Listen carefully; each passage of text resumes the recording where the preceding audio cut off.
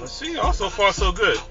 I mean, don't get me wrong. There are one a few times where there's no cars coming, but when there's a long line, the chances of that happening is so rare. There's usually one car that always gonna run. Yep, there you go. That's one. That's two. There you go. Another one. Three. Another one coming.